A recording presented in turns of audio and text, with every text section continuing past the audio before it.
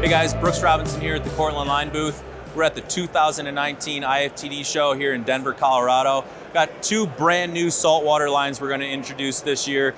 This is our Tropic Plus Redfish line, and this is our new Cold Salt Series Redfish line. The Tropic Plus Redfish line is built on a monofilament core, slick hard tropic jacket that won't wilt in the heat. The cold water redfish line is built on a braided nylon multi-filament core, so it's gonna lay flat in winter conditions, whether you're in Charleston or New Orleans. Uh, they're both built six through 10 weights. They're a half line size heavy, nice short aggressive taper to load up in tight for short range shots or to carry some bigger flies. Check it out at tridentflyfishing.com.